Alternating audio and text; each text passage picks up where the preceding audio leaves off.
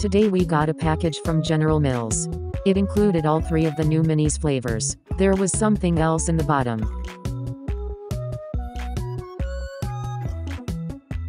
It's a special edition minis mini fridge.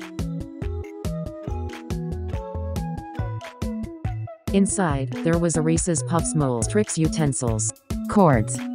Stupid bag flew away. We got three sets of stickers and mini cutouts. The minis are delicious. Like for part 2, the mini kitchen build.